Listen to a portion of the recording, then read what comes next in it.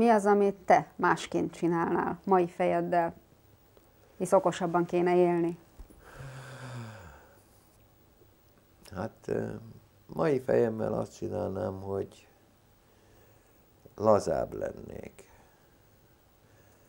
Sok munkát nem vállalnék el, amit elvállaltam, és amiből nagy örömöm volt, hanem helyette elmennék és szórakoznék olyanokat, amiket ma már esetleg nem tudnék megcsinálni.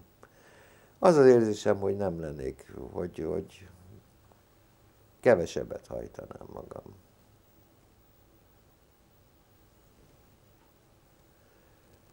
Sokkal kevesebbet hajtanám magam, és sokkal többet, többet igyekeznék az élet örömeiből habzsolni.